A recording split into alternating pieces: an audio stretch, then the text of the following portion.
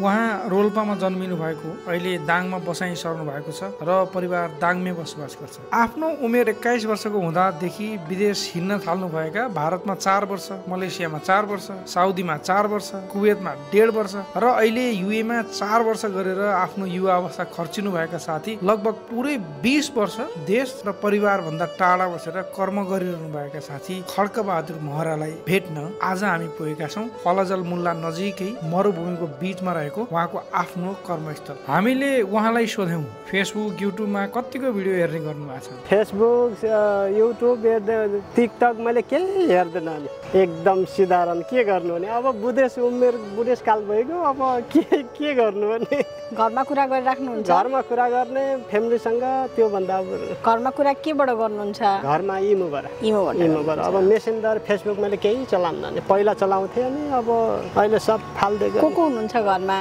घरमा अब त्यो छोरा र बुढी मात्रै। है? अहिले छोरा पनि दाङतिर अब पढ्ने लिएको त्यहाँ र बुढी एक्लै हुँदाखेरि अब किन एक्लै गर्ने अनि छोराको खाना पनि बनाइदिने अब उडैतिर जाने भनेर अब बुढीले पनि फेरि उडै छोरा जहाँ बाबु थियो उडै बसालिदिएको खाली समयमा के गर्नुहुन्छ नि? हाम्रो समय खाली चाहिँ हुन्न नि। दुई घन्टा खाली समय अब यो खाली समयमा? एकैछिन आराम गर्नु पर्यो। यस्तो गर्मीमा खाना बनाउनु पर्यो।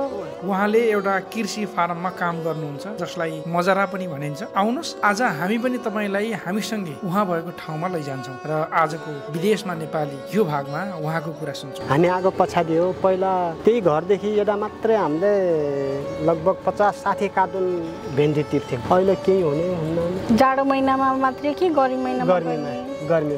गर्मीमा। टिप्थ्यौँ अब अहिले सामान्य त्यति छैन त्यसले गर्दाखेरि पनि अहिले हुन्न। चार वर्षदेखि हुनुहुन्छ यहाँ? हजुर चार वर्ष अब।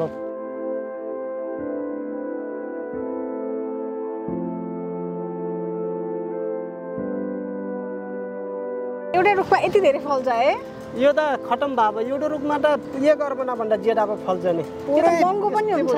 हजुर महँगो हुन्छ तर खास गरेर हाम्रो कम्पनीले यो बाहिर सेल गर्दैन अर्को कम्पनीले उनीहरू आफैले बेच्दैन यो चाहिँ अरूको कम्पनीलाई दिन्छ। यहाँभित्र त त्यति धेरै गर्मी पनि छैन। भित्र अब फ्यान चलिरहेको छ यो खिराले गर्दाखेरि उता सिलिङ चलिरहेको छ पानी सिलिङमा पानी आइरहेको छ त्यसले गर्दाखेरि यस भित्र खिराको लागि राम्रो छ। ए भनेपछि यहाँभित्र चाहिँ काँक्रो रोप्नु भएको छ काँक्रोको लागि फ्यान चलाइराख्नु पर्यो। हजुर फ्यान चलाइराख्नु पर्यो। दिनमा सबै फ्यान चल्छ साँझ पख भयो भने चाहिँ आधा फ्यान चलाउँछ फ्यान चाहिँ जाडो महिनामा गर्मी महिनामा ठन्डीमा पनि हजुर जाडोमा पनि चल्छ किनकि भित्र अक्सिजनको लागि ठन्डीमा पनि चल्छ। पुरै प्लास्टिकले मरेको छ त्यसले गर्दाखेरि उसमा पनि चल्छ ठन्डीमा पनि चल्छ। अहिले अब खिरा लगाएको छौँ पहिला यसमा सबैमा टमाटर थियो। यिनीमा कोसा लगाने हो भने कोसाभन्दा अगाडि हुन्छ कोसा र भिन्डीमा थियो मटर गोसा होइन होइन। कस्तो कोसा कोसा? तरकारी खाने हाम्रो फर्सी जस्तै सानो एउटा हुन्छ छोटो खालीको। जुकेनी जुगिनी जस्तै हो।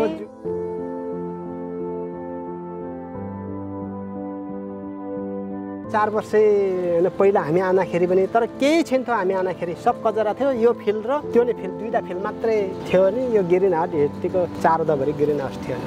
अब यो पनि अहिले हामी आएपछि बनाएको त्यो पनि हामी आएपछि बनाएको यता पनि हामी आएपछि बनाएको यता कचरा फाल्ने ठाउँ थियो पहिला हामी त्यो पनि ग्रिन बनाइदिएको। अब अहिले उता फाल्छन् थोरै थोरै कचरा अलिअलि आगो लगाइदिने। है कतिजना हुनुहुन्छ यहाँ? यहाँ हामी पहिले आँदाखेरि चौबिसजना थियौँ। अनि तपाईँहरू यस्तो ठाउँमा हुनुहुन्छ यहाँ वरपर पसल पनि छैन मेन सिटीबाट अलिकति भित्रपट्टि छ सामानहरू कसरी ल्याउनुहुन्छ? खानालाई ग्रोसरी सामान एकचोटि तलब आएपछि सामान लिन जान्छौँ। त्यतिखेर सबै एक महिना खाने भयो सामान त्यतिखेर चाहिँ लिने। ठ्याक्कै अब मिलेर एउटा ट्याक्सी गराउँछौँ साठी रुपियाँ लिन्छ भने ट्याक्सीले। ट्याक्सी बोलाउने। ट्याक्सी बोलाउने। त्यहाँ लग्ने पनि लिने पनि गर्छ। ए कहाँ कहाँ जानुहुन्छ मार्केट चाहिँ हामी यहाँ वरपर यता नेस्टो जान्छौँ हामी नेक्स्ट जानुहुन्छ। यो रुख चाहिँ यसलाई के भन्नुहुन्छ? यो सजना भन्छ अब अहिले सकिया छ यो। इङ्ग्लिसमा ड्रमस्टिक भन्छ। यो साम्बर बनाउने बेलामा सुप खाने बेलामा एकदमै राम्रो हुन्छ। राम्रो हुन्छ।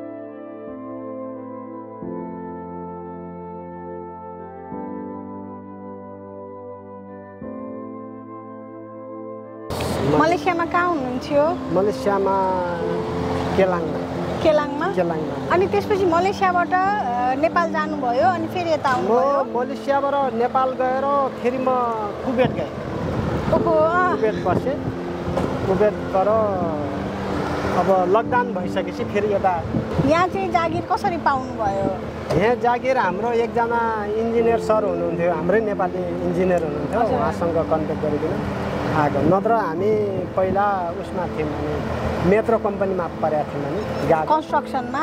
मेट्रो कम्पनीमा कन्स्ट्रक्सन उहाँ भिसा नलाग्ने हुँदाखेरि कोरोनाको बजायले सबै नयाँ गएकाले सबैले निकालिदियो निकालिदिइसकेपछि फेरि दुई चार दिन रुममा बस्यौँ उता त्यही हामीलाई ल्याउनेवालाको रुममा। त्यसपछि फेरि यता कन्ट्याक्ट गरियो यसमा। जाम काँक्रो हेरौँ। मलेसियामा ठाउँमै चिसो थियो चिसो ठाउँमा उब्जनी भइरहेको थियो। यहाँ चिसो बनाएर उब्जनी भइरहेछ। मलेसियामा अ, हामी यो फिल्टर कम्पनीमा थियौँ भने फिल्टन यो गाडीहरू प्लेनहरू बनानेको फिल्टनमा काम गर्थ्यौँ हामीले मलेसिया। पछि एक्कासी दुईवटा जाँच गायब भयो नि एकचोटि। त्यतिखेर कम्पनी डाउन भइदियो डाउन भएपछि हामीले हामीले गर्ने कम्पनीमा जुन कम्पनी थियो त्यो कम्पनीबाट लग्ने सामान अब उपलब्ध भयो उपलब्ध भइदिँदाखेरि अब काम नचलेपछि घर गएर फेरि कुवेततिर लागेको कुवेततिर मैले त्यति लामो समय बसिनँ थोरै समय बसेँ। तर थोरै समय बसे पनि यस इमान्दार तरिकाले काम गरेपछि जस दिनमा अब पचहत्तर रुपियाँ धेरीमा गएको मान्छे। जो सिक्युरिटी पनि गर्ने चान्स पाएँ मैले राति सिक्युरिटी गर्ने।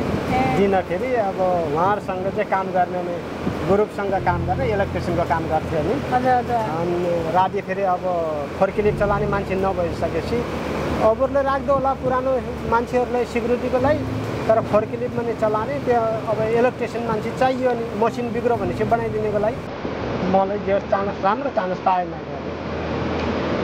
कुवेतमा जेस राम्रै कमाइराख्यो घर गयो घर गएपछि लकडाउन भएपछि। हजुर यस। सबैमा अझ सबैमा फ्यान चलेको छैन सर अरे उतातिर सिलिङले गर्दाखेरि सिलिङबाट पानी आइरहेको छ। त्यसले गर्दाखेरि त्यो शीतल छैन अब यिनका डेट अब गइसकेको छ नि। अब दिनमा घाम भयो भनेपछि यो कपडा पुरा ढाकिदिनु पर्छ। साँझ पख भयो भनेपछि फेरि खुल्ला गरिदिने यो कपडा सिद्लोको लागि।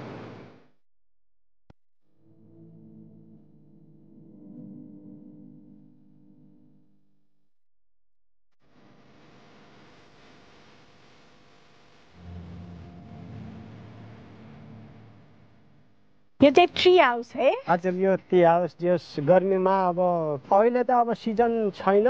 खास गरेर अब यहाँ प्रोग्राम हुन्न गर्मीमा हर पार्टी हुन्छ हप्ता हप्ताको कम्पनीले गर्छन् अनि बाहिर बाहिरबाट ठुला ठुला अब मान्छेहरू अब भिजिटेकका मान्छेहरू बाहिर कोरियाबाट अमेरिकाबाट आन्छन् यहाँ मान्छेहरू। घुम्नलाई फार्म हेर्नलाई। फर्म हेर्नेको लागि अब जस अब यहाँबाट पनि जान्छन् अनि।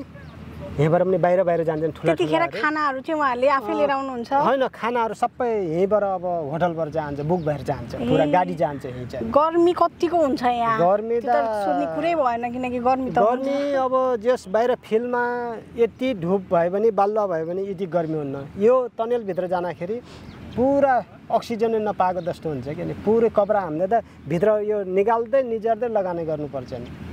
अब किनकि आफ्ना आफ्ना काम गर्नु पर्यो।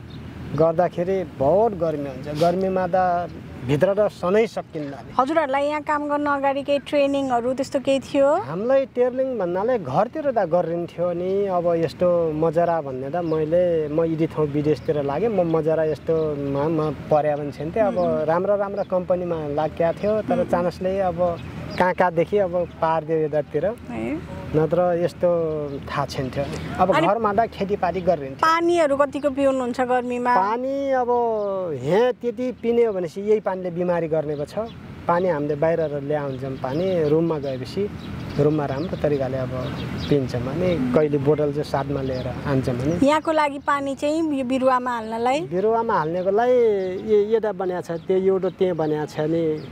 जमिन मुनि धारा छ। धारा छ एउटा ऊ पारि बनाएको छ नि। यहाँ आठवटा छन् तर दुईवटा मात्रै अहिले चालु छ खास गरेर फिल्ड खाली छ र त्यसले गर्दाखेरि दुईवटा मात्रै चालु छ। चार वर्ष भयो हजुर यहाँ। हजुर। बिचमा कहिले बिरामी पर्ने गाह्रो हुने। जस अझैसम्म शरीरले साथ दिएको छ म यहाँ आएकोदेखि मेरो एक दिन रेस्ट त भन्ने मैले छुट्टी भन्ने मलाई थाहा छैन।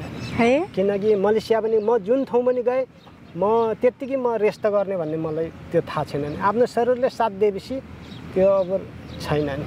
अब साथीहरू जान्छन् अनि महिनाको हप्तै पछि पनि जान्छन् तर म यो थातमा आएकोदेखि मलाई यस्तो। हजुरहरू कहाँ जानुहुन्छ जचाउन यहाँ वरपर? हामी यहीँ यता काबर अमल कुइनको अस्पतालमा जस कम्पनी इन्सुरेन्स छ कम्पनीले इन्सुरेन्स जस्तै कागज बनाइदिएको छ तर गएर तिर्नु पर्छ पहिला पछाडि। फिर्ता आउँछ। स्यालेरी हातमै पाउनुहुन्छ कि ब्याङ्क अकाउन्टमा पाउँछ कि? हातेमा? दिन्छन् हातेमा। सेलरी हातेमा। पहिला त एकचोटि ब्याङ्क एटिएम कार्ड बनाइदिएको। एटिएम कार्ड एटिएम बिग्रो भन्दाखेरि त्यहाँदेखि फेरि अब एटिएम बनाएनौँ त्यत्तिकै हातमा दिएपछि अब अहिले जस्तो आज आयो भनेपछि भोलिपल्ट अब गाडी बोलाउने। त्यहाँबाट महिनाभरि खाने रासन पनि अब उदिखेर लिने। तर अब पैसा लगानी पनि अब नेपालमा पैसा कसरी पठाउनुहुन्छ? ब्याङ्कबाट। ब्याङ्कबाट पठाउनुहुन्छ। अब किनकि नेपालमा खाता छ? हजुरको आफ्नो? छ। मेरो पनि छ बुढीको पनि छ तर अब मेरोमा हालेर के गर्नु? अब बुढीहरूकोमा हाल्दैछ अब उनीहरूले काम गर्ने अब यताउता बाबुले पढाने अब त्यही त हो नि अब अहिले बाह्रको इक्जाम दिएर अब घरमा बसिया छ बाबु अनि हजुरले मलेसियामा काम गर्नुभयो कुवेतमा काम गर्नुभयो अहिले युएमा पनि चार वर्षदेखि गरिराख्नु भएको छ अलग अलग ठाउँमा गरिराख्नु भएको छ। चौबिसै घन्टा नि काम गर्नुभयो। मैले गरेँ। हो। यतिको मेहनत नेपालमा गर्दा नेपालमा छ कि छैन त?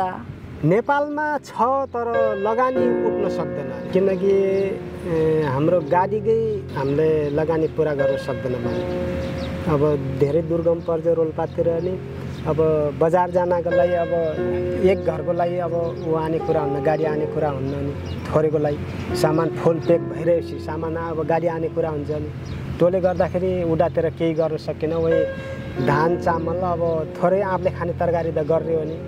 अब दाङतिर झरिसकेपछि दाङतिर अब मैले अड्डे दिइराखेको छु अनि जस मेरो घर पनि छैन दाङतिर नि त्यत्तिकै बाबुलाई अब उडै परानेको लागि मैले अब जानलाई पनि उडै बस नि एक्लै कति दुःख गर्ने अब जति जति दुःख गरे पनि हुन्न रहेछ नि भनेर फेरि जानलाई पनि उडै बाबुको खाने बनाइ पनि उडै बसालो गर्ने।